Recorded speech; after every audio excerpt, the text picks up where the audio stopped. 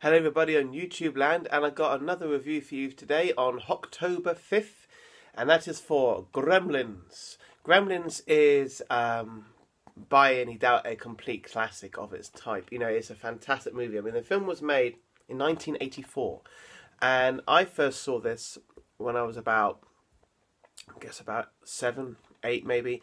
And I remember begging mum and dad to watch this because it looked so good. And they were a bit dubious because it is a 15, it is, has got a lot of horror elements to it. Um, some of the gore, some of the, the scenes like the Christmas tree scene, that's quite a scary scene for kids. Um, however, I thought it was hilarious, the, the scene with the stair lift. Um, no spoilers, but I'm sure you've seen it. Um, but I, I simply absolutely love Gremlins. I mean, Gremlins is an all-time classic. It's basically about um, a young lad who receives a gift from his dad of a little creature called Mogwai, and if you get him wet or you feed him after midnight, no, that's wrong. If you get him wet, yeah, all these gremlins pop out of him, and if you feed them after midnight, they they turn to right evil bastards. Hence the title, Gremlins. Um, and it's basically a horror comedy thriller.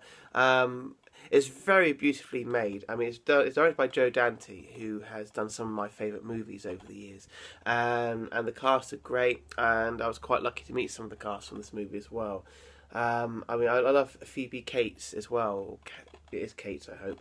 Uh, she is a fantastic actress who seems to have gone off the radar, but uh, she was an awesome Drop Dead Fred, if you remember, and she was a truly brilliant actress, and I really miss her on the screen these days. Um, but yeah, I mean Zach Galligan, he's good as well. Um, I remember meeting him, and he was really friendly. Um, but yeah, I you know there's quite a lot of talent behind this movie. You've got Spielberg, got Frank Marshall, Kathleen Kennedy, Chris Christopher Columbus, of course, and directed by Joe Dante, and uh, music by Jerry Goldsmith. So it's a winning combination, and I love the way it's filmed, the way it's set up. Ten out of ten. You got to watch Gremlins and that's directed by the guy who does the voice of Stripe, who was also in uh, Michael Winslow, who was in the uh, Police Academy movies, uh, as the guy who does the beatbox voices and everything. Amazing. Uh, and whilst we're at it, Gremlins 2. Uh, Gremlins 2 is a very good sequel. It's not as good as original, quite easily and normal, but I actually thoroughly enjoyed Gremlins 2. It's mad, it's bonkers, and it has my favourite favourite moment of the both movies, where um, a gremlin can actually talk. And he's talking on a television interview show with a guy dressed up as Dracula. Yeah, and uh, and basically, uh, this little gremlin pops up and goes, starts making a noise, and the and the gremlin that talks shoots him, and he says, "That's civilized? No, fun, but not clearly civilized." And I just love his voice. It's very, very.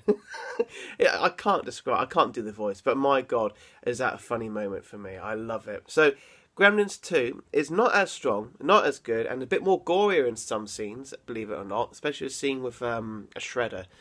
I always remember that for being pretty bleh. So it's probably not so bad nowadays. But um, anyway, yeah. So Gremlins One, I would give a 10 out of 10. Gremlins 2, I would go about a 9. I really enjoy it. So, a couple of good movies to watch, um, and I highly recommend you watch them over the Halloween period because it's they're a lot of fun, aren't they? Um, got some more horror reviews coming soon, and I'm doing my first shout outs a little later on today. So, see you guys soon for that.